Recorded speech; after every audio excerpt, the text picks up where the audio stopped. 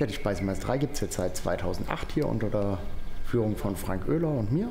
Ich bin der Markus Eberhardinger und bin Küchenchef und Geschäftsführer hier in der Speisemeisterei.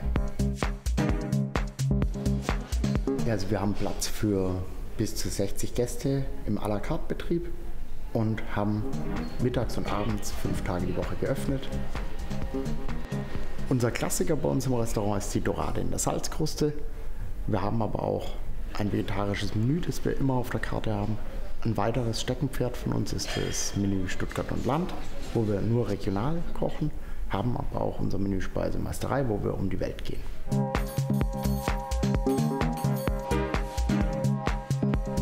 Studenten sind jetzt nicht unser Stammpublikum hier, aber es kommt doch schon der ein oder andere, der hier seinen Abschluss feiert.